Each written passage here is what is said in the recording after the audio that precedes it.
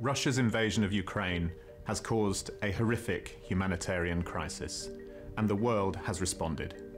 Nations and governments have severed financial and business ties with Russia and are seeking to reduce their reliance on Russian oil and gas. This presents a fresh energy supply shock to many countries that were already facing high inflation from the restart of economic activity.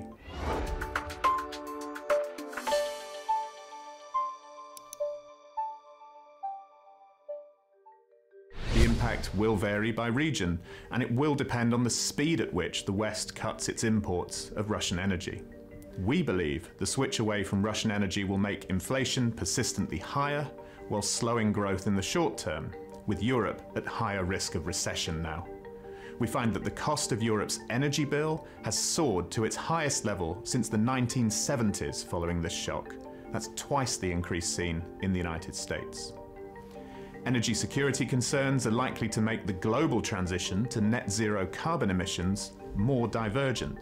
More fossil fuel output from the United States and other non-Russian sources will be needed to meet the world's energy demands.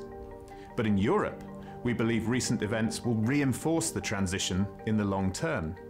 In particular, we see the region making a bigger push now to renewables and electrification as it looks to wean itself off Russian energy. The bottom line the energy shock will further boost inflation and dampen growth in the near term while making the global transition to net zero more divergent.